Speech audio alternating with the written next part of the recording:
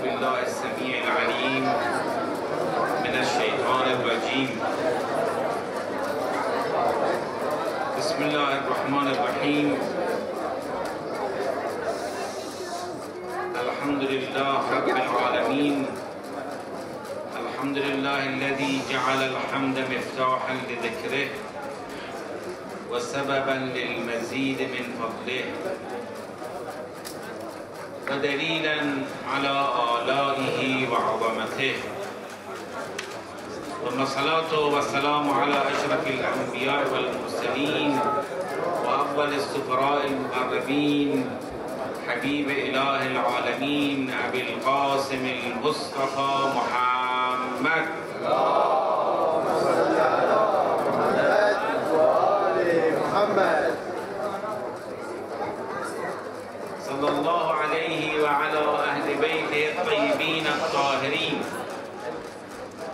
سيما بقية الله في الأرضين عجل الله تعالى فرجه الشريف. واللعن الدائم على أعدائهم إلى قيام يوم الدين. قال الله الحكيم في محكم كتابه بسم الله الرحمن الرحيم إنا أنزلناه في ليلة مباركة. إلى أن يقول الله سبحانه وتعالى فيها يفرق كل أمر حكيم. هدیه نثار ارواح طیبه معصومین به ویژه در این شب سوم شهادت مولای متقیان امیر المؤمنان وجود مقدس علی ابن ابی طالب اجماعا صلواتی خرج بفرمایید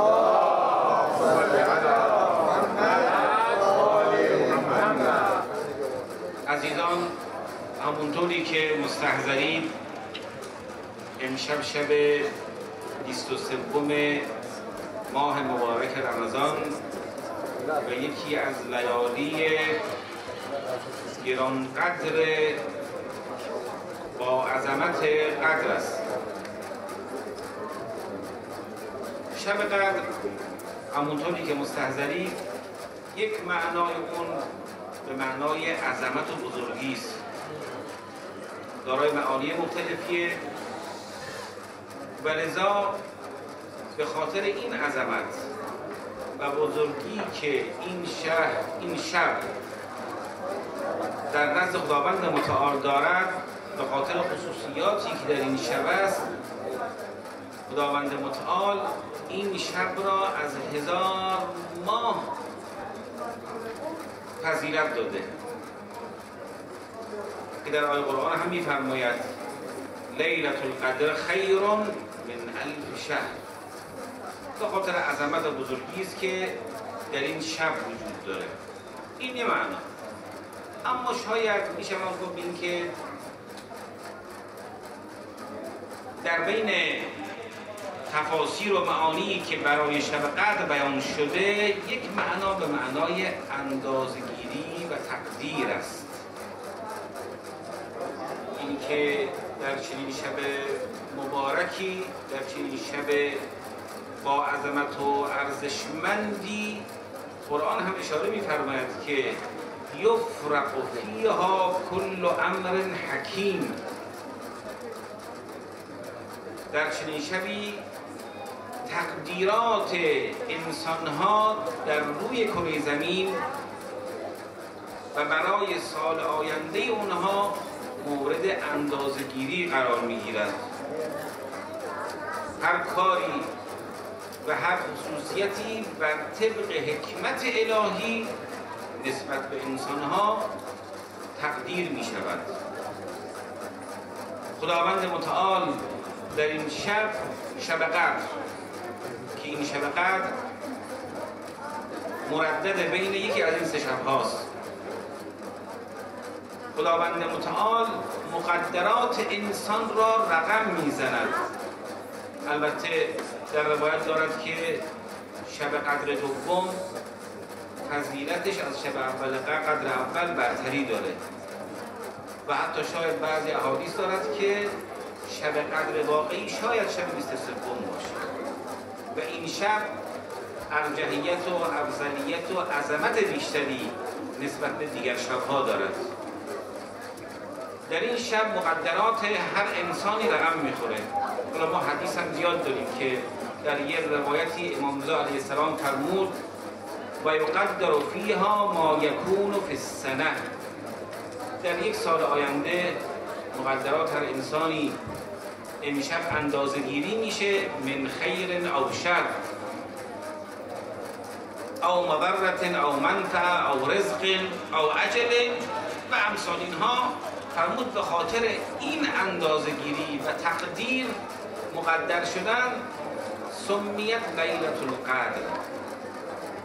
به خاطر همین وضعیت تقدیر و اندازه گیری آینده یک سال انسان ها امشب را قدر نامگذاری کردن حالا معانی ظاهری داره یه معانی دیگری هم داره که اصلا خود شب قدر اصلا قدر به خاطر عظمتش وجود مقدس فاطمی زهرا سلام الله علیها است حالا این یه بحثای حالا مفصلی در زمینه معانی شب و حکمت و سری که در این شب وجود داره.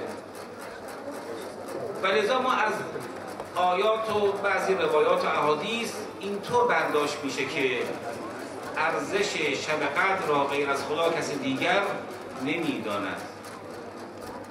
به همین جهت هم هست که بعضی از بزرگان یک سال در طول دوران یک سال هر شب را به احیا سپری کردند که اون شب قدر واقعی را درک کنند.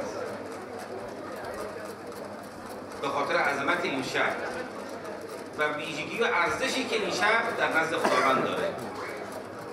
ارزش انسان در شب قدر به اون اعمال گذشته او رقم خواهد خورد. چون مانند چنین شبی بالاخره نامی عمل ما محضر مقدس امام زمان عرضه میشه. چون شب سرنوشت برای همه انسان ها شب سرنوشتی که تقدیر میشه رقم می‌خوره. حیات انسان زندگی انسان مرگ انسان رزق و روزی انسان سعادت و شقابت انسان. و از همین قبیل امور از اون مواردی است که در چنین شبی رقم می‌خوره و محضر مقدس امام زمان عرضه میشه. حالا در آیه قرآن دارد که تنزل الملائکت و روح فیها. فرشتگان یه موجودات مجردن مجرد مادی نیستن. لذا این تنزل و نزول اونها صعود اونها فرود اونها پرواز اونها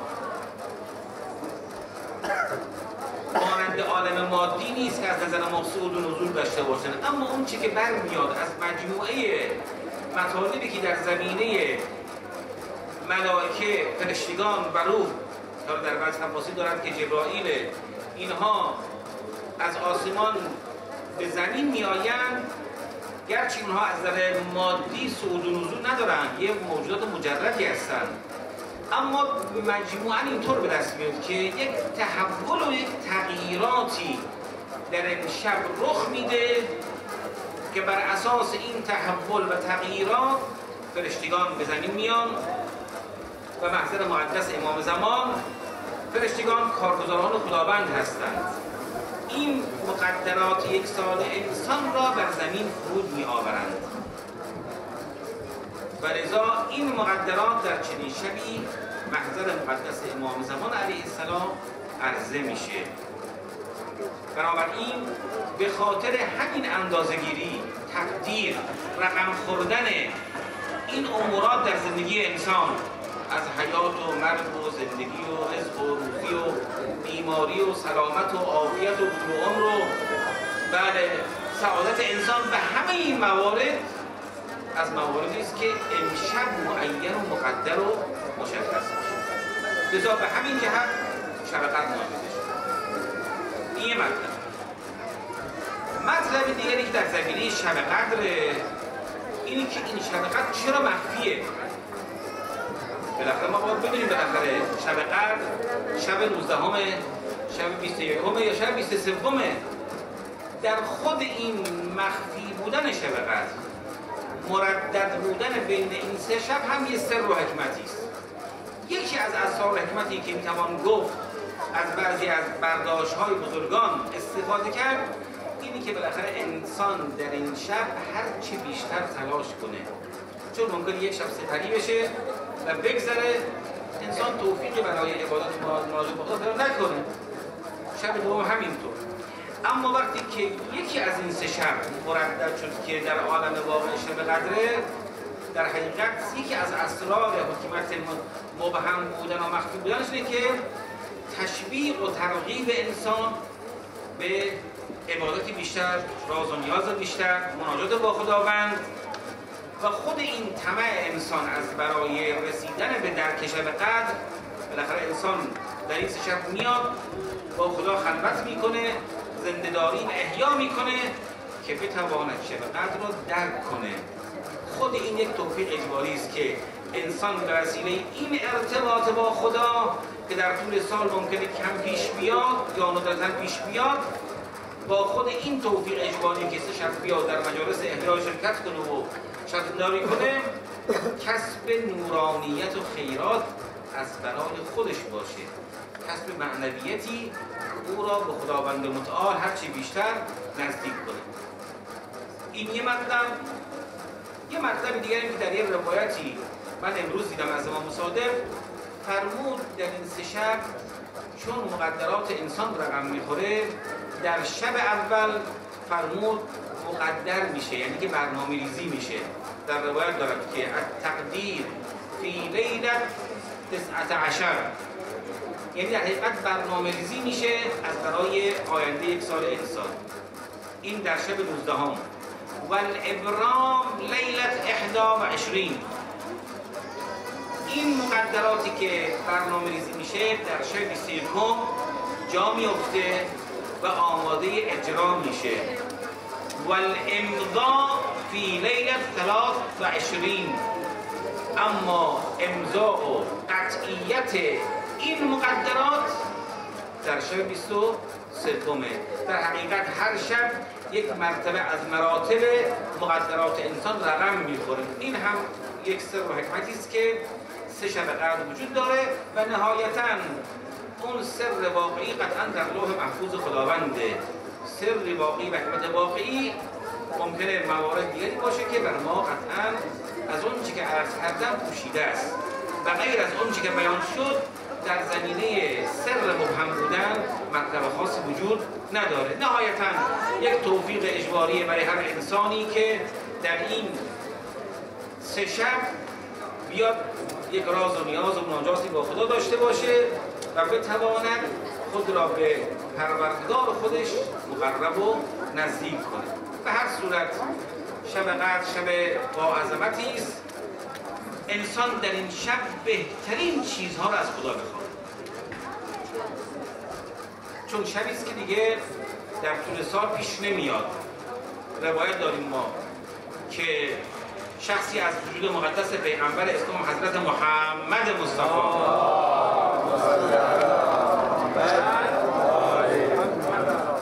سوال کرد که یا رسول الله اگر من موفق بشم شب قدر را درک کنم بهترین چیزی که از خدا بخوام چیه؟ حضرت فرمود عافیت. عافیت و سلامتی. عافیتی که به تو توان بده از برای عبادت بیشتر و نزدیکتر شده به خداوند متعال. لذا این ما روایت داریم ما. از سفارش بزرگان ماست که در شب انسان عافیت را از خدا طلب کنه. حالا موارد بسیاری هست. از جمله دعا. دعا در این ما خود عافیت طلب کردن یعنی دعا کردن دیگه. دعا در روایت دارد که اگرچه خداوند در این پرونده ای که برای یک سال آینده مقرر میفرماید و مقدر می کند اما این قطعا اونطور نیست که تمام اونها اجرا بشه. بلکه مواردی ممکن است بر اثر یک موارد خاصی از بین بره. تغییری بشه درشون. مثلا دعا یبرم بعد امر محکم در روایت دارد که انسان دعا که بکنه باعث میشه که یه امر قطعی رو از بین ببره. دادن صدقه از جمله مواردی است که ممکنه در یک نامه عمل انسان برای یک سال مقدر شده باشه. اما پرداخت صدقه انفاق به ویژه اینکه اون صدقه و انفاق هم سری باشد از مواردی است که خداوند به خاطر اون صدقه ممکنه اون مقدرات را درش تغییر و تحول ایجاد کنه. سله رحم احسان به والدین و امثال اینها. مطالب بسیار مفصلی. بنابراین خواستن عافیت از جمله مواردی است که در روایات به اون سفارش شده و در حقیقت چون شب قد قلب ماه رمضان است. این عین روایته که حضرت فرمود قلب و شهر و رمضان لیلت القدر. یعنی اینقدر قدر چقدر دارای اهمیت حیاتی است برای بدن انسان. شب قدر هم به این اندازه حیاتی و دارای اهمیت است از برای ماه مبارک رمضان. از جمله مواردی که من خیلی به طور اجمال و گذرا عرض می‌کنم و رد میشم از جمله مواردی که در این شب کارساز است. برای بندگان استغفار و درخواست آمرزش گناهان است. یکی از بهترین دعاها طلب استغفار است. استغفار در این شب در حقیقت پرونده آینده یک سال ما را سفید می‌کنه به این وعده الهی است. به این که درخواست آموزش به خصوص در این زمانهای خاص مانند شب قدر از جمله مواردی است که مورد پذیرش خداوند قرار می‌گیره به خاطر این ویژگی که شب قدر دارد و از جمله همون دو نمازی که پس از دعای جوشن کبیر به عنوان یکی از اعمال شب قدر خونده میشه و هفتاد بار استغفاری که پس از اون در روایت وارد شده یک راهی است. در چنین شبهایی شب قدر از برای استغفار طلب آموزش و طلب مغفرت از درگاه خداوند متعال. مطمئن باشید عزیزان هر انسانی با کولباری از گناه اگر به سمت خدا برگرده قبول از طرف خداوند ردخور نخواهد داشت. یه حدیثی است. ابان ابن تقلب از جمله اصحاب نزدیک امام صادقه. میگه امام صادق فرمود به این که یقول ما من عبد اذنب ذنبا. اون بنده ای که گناهی کرده معصیت کرده نافرمانی خدا کرده. فندم علیه. پشیمان شد. بهش ندامت دست از کاری کرده. الا غفر الله قبل ان یستغفر. قبل از اینکه کلمه استغفار بر زبانش جاری بشه خداوند او را میبخشه. یعنی انقدر رحمت و مغفرت اله. پروردگار آماده پذیرشه که انسان به مجرد اینکه پشیمان شد هنوز ذکر استغفار را بر زبان جاری نکرده خداوند متعال او را میبخشد. در یه حدیثی بسیار مفصل از وجود مقدس پیغمبر اسلام ابن عباس نقل می‌کنه. میگه به این که در این حدیث پیغمبر فرمود به این که خداوند متعال در شب قدر عده از فرشتگان را معمور می‌کنه که بیان و برای بندگان طلب آموزش کنند. من وقتی که آخر زیر اون روایت عرض می‌کنم که خداوند متعال عده از فرشتگان را معمول می‌کنه یحللون و یسبحون و یستغفرون کل اللیل لامت محمد.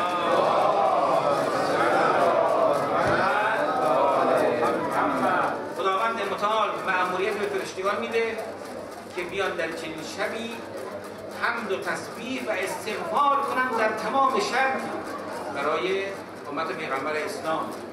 و این نیست مگر اینکه خداوند متعال با اندک ندامت و پشیمانی آب قارون عزیزانی که در جریان قصص قرآنی مطالعه دارن قارون از کسانی بود که هم معاصر با حضرت موسی بود.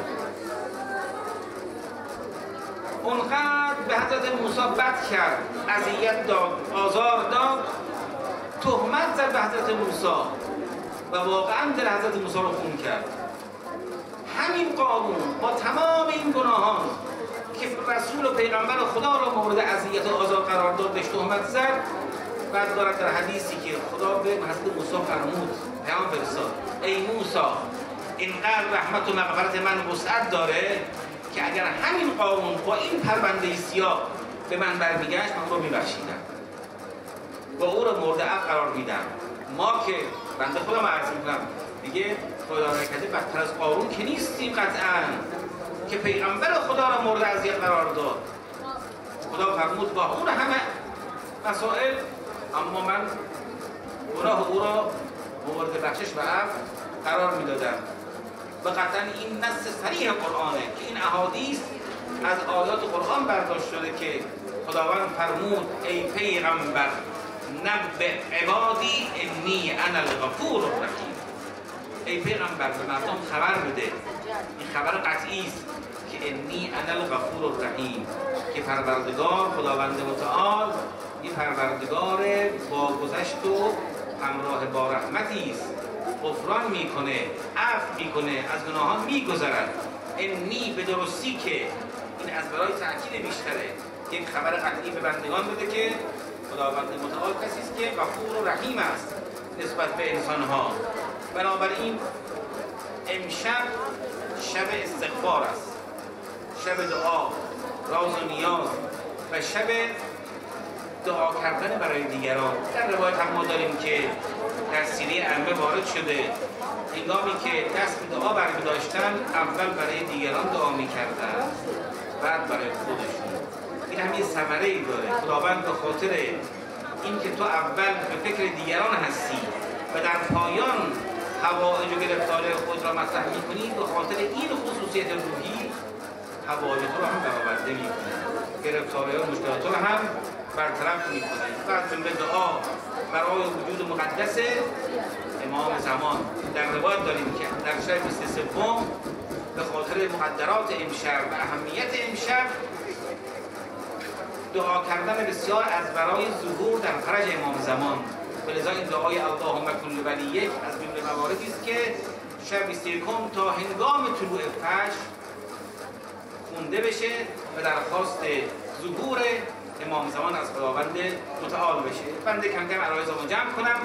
امشبی که دارای این قدر و منزلت این عظمت این شکوه و این خصوصیتی که خداوند متعال هر بنده گناهکاری را درگاه خودش میپذیره به گناهش را میآمرزه ما در این شب دو چیز را به درگاه خدا به پیشگاه خدا می‌بریم یکی قرآن یکی اطرت هنگامی که قرآن به سر میگریم قرآن خدا و بر زبان هم نام چهارده معصوم را می‌بریم. یعنی خدایا ما ترا به قرآن کتابت سوگند می‌دهیم. پروردگارا ما ترا به معصومین علیهم السلام قسم یاد می‌دهیم که به خاطر دو این دو چیز ارزشمند ما را مورد رحمت و مغفرت و عفو و غفران خودت قرار بده. و وقتی که ما در این شب دو چیز گرانبها را به پیشگاه خدا می‌بریم در حقیقت این همون عین حدیث پیغمبری است که فرمود انی مخلف فیکم الثقلین کتاب الله و اطرتی اهل بیتی. خدایا ما در پیشگاه تو در نیمه های دل شب دو چیز گرانبها قرآن تو که دارای ارزش بسیاری است. و اطرت تو که لازم منظور قرآن هستند و بندگان برگزیده تو هستند در روی زمین. تو را به پیشگاه تو می آوریم به زیر عنایت اونها متوسل می شویم که ما به این وسیله بتوانیم خود را از گرفتاری ها و گناهان رهایی ببخشیم. بنابراین این دو وسیله بهترین وسایلی هستند از برای رهیده شدن از بار گناهان و پرونده سنگینی که ما در طول سال گذشته به دوش کشیدیم. یعنی که خدایا قرآن در رأس امور است و اطرت اونهایی هستند که ما ازشون پیروی می‌کنیم. و نمودار اطرت وجود مقدس مولا الموحدین سید العارفین مولای متقیان امیر مؤمنان علی علیه السلام است. همونطوری که از کردم ملاک برای اطلاق وجود مقدس علی است کسی دل در گرو علی داشت او از نجات یافتگان در روز قیامت است که فرقت ناجیه. یک گروه کسانی هستند که قطعا در, در روز قیامت رستگار و نجات یافته هستند. و علی میزان اعمال است.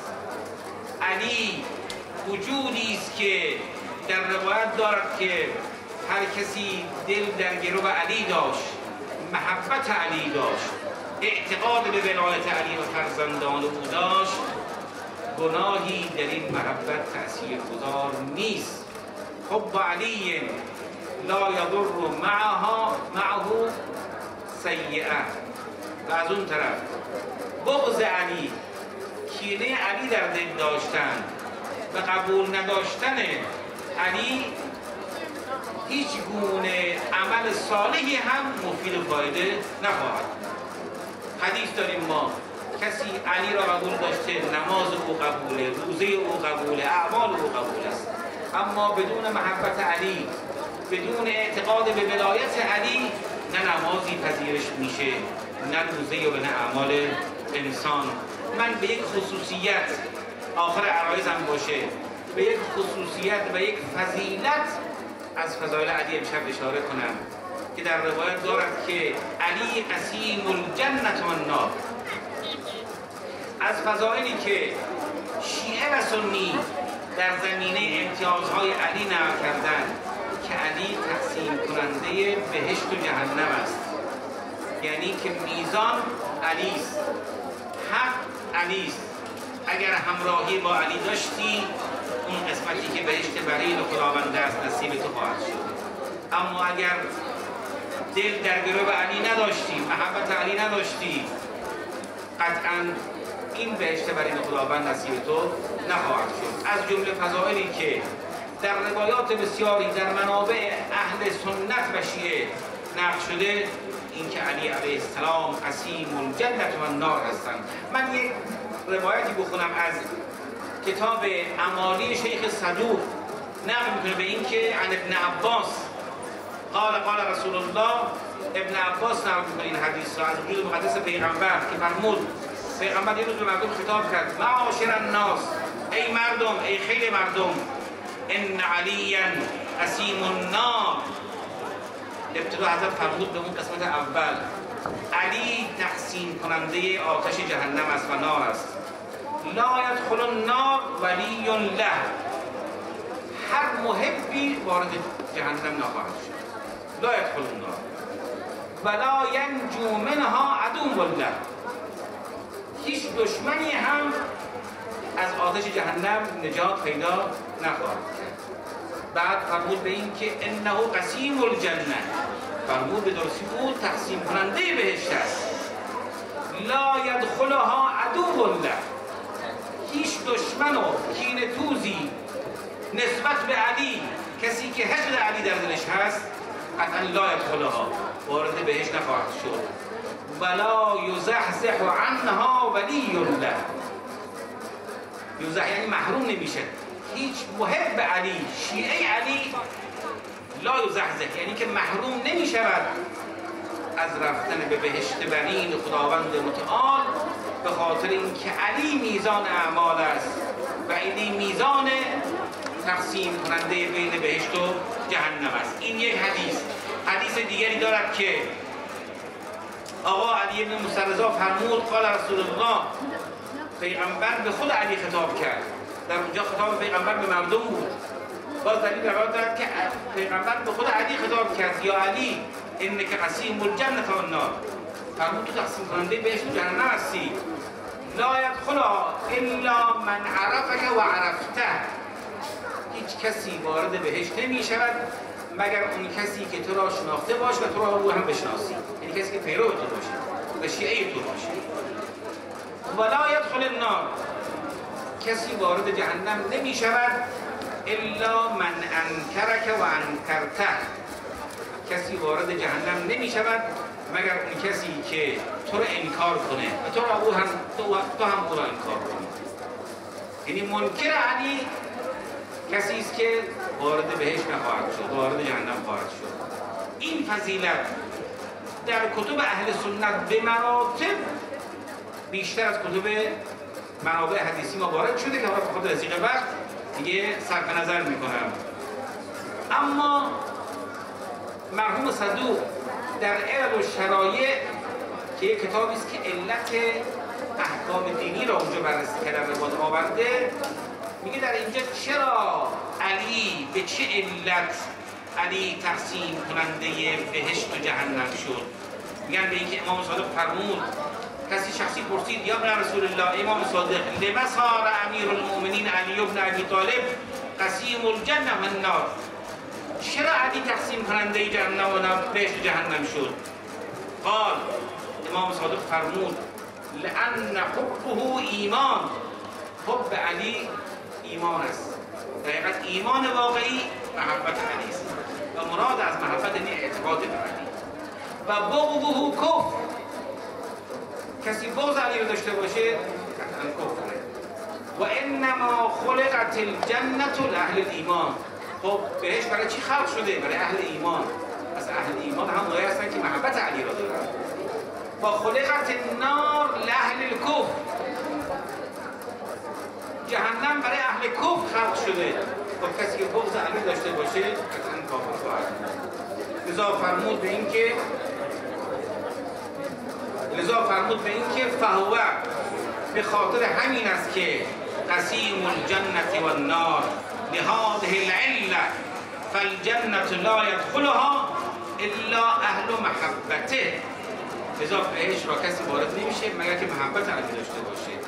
و النار لا يدخلها جهنم را هم کسی وارد نمیشه مگر اینکه بغض علی را داشته باشه. و از این قبیل احادیث بسیار زیاد و این فضیلت از فضائلی است که در اشعار شاعران عرب در قرون متمادی سروده شده. از جمله اون ابیات شعری که خدا قسمت همه بکنه شاید آقای احمدی هم در اون سفری که مشرف شدن این شعر رو دیده باشه. بر سر در رواق ورودی حرم مولا این شعر از امام شافعی رئیس مذهب شافعی ثبت شده که علی حبه جنه قسیم النار و الجنه امام شافعی که رئیس مکتب چی؟ که از مکاتب چهارگانه اهل سنت این شعر را سروده علی حبه جنه. محبت علی سفر برای برای انسانه بعد که در بیت بعد علی قسیم النار و الجنه علی کسی است که تقسیم کننده بهشت و جهنم است. بعد در اون بیت بعدی فرمود این میگه این که وسی المصطفى حقا. در حقیقت وسی واقعی و جانشین واقعی مصطفی علی است امام الانس و الجنه علی کسی است که امام همه انسان ها و همه موجودات بر روی زمین است. لذا این یک فضیلت از فضائلی که در کتب منابع اهل سنت بسیار به این فضیلت اشارت شده. که میزان عدل علیست میزان حق علیست خطکش تفرقه بین متمایز کردن بین حق و باطل.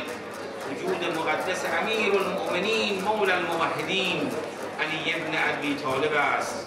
اون وجودی که امشب شب سوم شهادت مولای متقیان علی علیه السلام است. اون وجودی که با این عظمت با این جلالت با این بزرگی در شبهای تابیک کوفه در میان کوچه های کوفه حرکت می‌کرد از این خانه به اون خانه سر می‌زد و از ایتام و مستمندان و فقرا در دل نیمه های شب به تنهایی دستگیری می‌کرد. اونها رو مورد مهر و محبت خودش قرار می‌داد. در, در اون شاعر دارد که بله در کعبه ولادت و به محراب شهادت نازم به حسن مطلع و حسن ختام تو. در کعبه ولادت و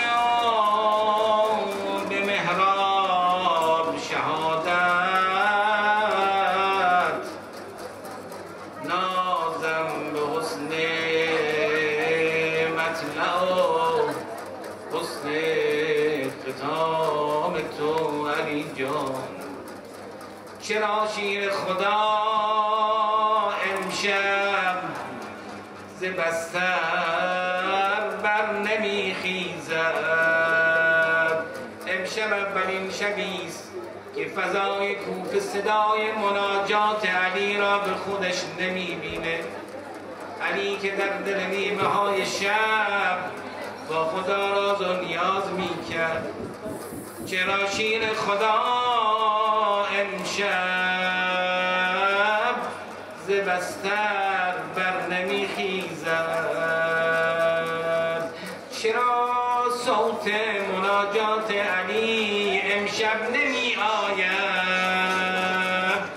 چرا آن نغمه های روح پرور بر نمی خیزد؟ همه ایتام کوفه چشم بر راهش. ایتام کوفه چشم بر راه علی هستند مانند چنین روزی که چنین شخصیتی را غریبانه چند نفر در دل نیمه های شب بردن در عرض غنی در زهر کوفه در بیابانی که پشت کوفه بود. یه جایی بود که گمنام بود کسی نمی‌دانست. یه عده از اصحاب خلص امیر المؤمنین جنازه علی را تشییع کردند. غربت اینقدر که علی خلیفه مسلمین امام. اما در دیر نیمه های شب جنازه او تشریع بشه آوردن در سرزمین غنی. همین شهر نجف همینی الان به خاک سپردن امام حسن میگه ما در با امام حسین داشتیم برمیگشتیم یه وقت دیدم از یه خیلی خرابه ای صدای گریه و زاری میاد. رفتیم ببینیم چه خبره. یه وقت دیدم یه پیرمرد نابینایی در گریه و زاری می‌کنه. گفتیم پیرمرد چته؟ یه وقت گفت هر شب یه آقایی میآمد برای من غذا میآورد. از من دستگیری می‌کرد اما چند شب دیگه از این آقا خبری نیست. گفتیم ای پیرمرد این آقا اسمش کی بود؟ چه کسی بود؟ گفت نمی‌دانم.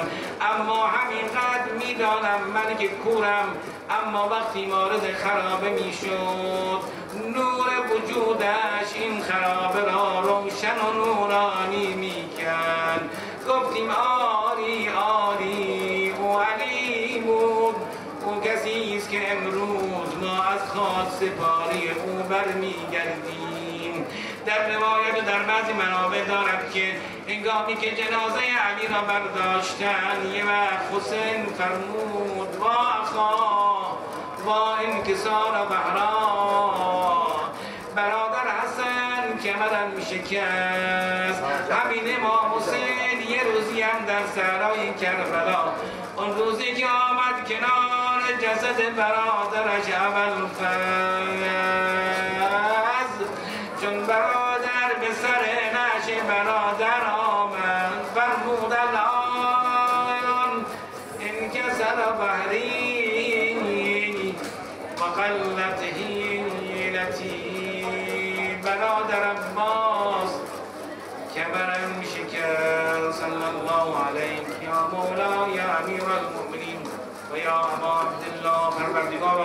و بیامرز در فرج آقایمون ترجیح بگردان ما را از یاران و پیروان واقعیش قرار بده.